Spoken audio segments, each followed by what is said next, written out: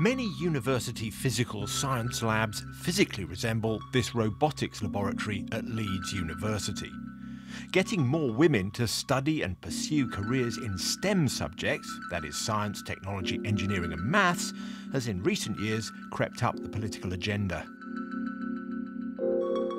Looking at undergraduate enrolments in 2016 17, of students whose principal subject was physics, just 22.1% were women and in computer science, just 17.2%.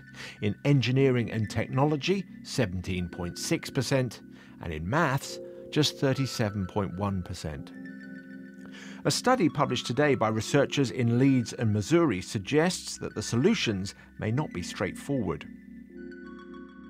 People have long thought that the more gender equal a country is, the more similar boys and girls and men and women will become in their sort of like interests and occupational choices. If you ask the average person in the street, well, do you think that there are more women going into STEM in, say, Finland or Norway than in Turkey or Algeria, people will say, well, obviously Finland or Norway, because we know those are very gender equal countries. And we see the opposite. So that is a very paradoxical finding, and that, that is why we called this study the gender equality paradox.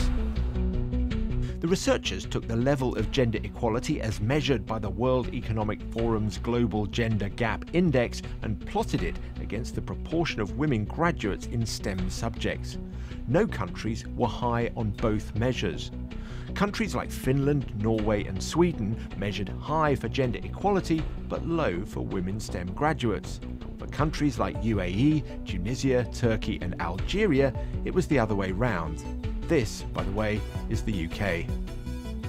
What the study doesn't do is come up with any firm answers as to why this should be, although the researchers do have a theory. Life satisfaction is higher in gender equal countries. And we think that when life satisfaction is higher and when people feel more secure in a society, they feel they can do what they really like. They are less driven by economic interests.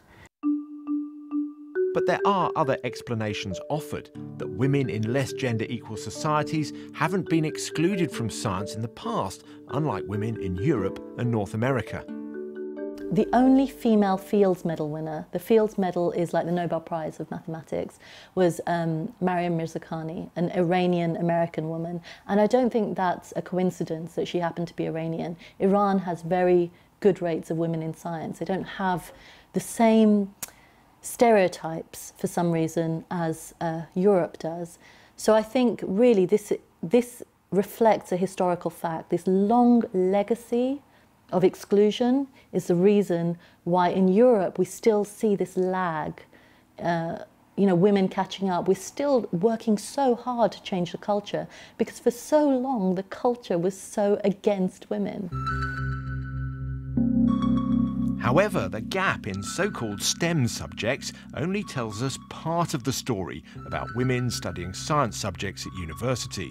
There are plenty of subjects with big gender gaps that favour women.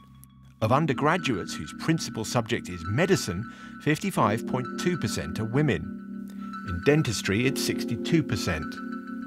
In biological sciences, it's 63%. In veterinary science, it's 77.3% and in nursing it's 90.5%. Indeed, taken as a whole, women account for 51.5%, over half of science undergraduate enrolments. Most uh, subjects at university are dominated by, uh, by women.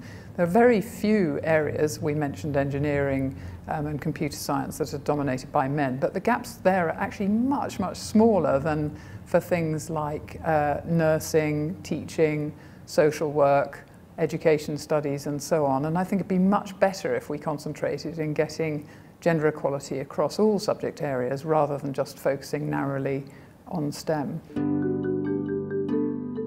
So why do men and women often end up on different career paths? Why are some occupations so dominated by one gender? The answers, it appears, are far from straightforward.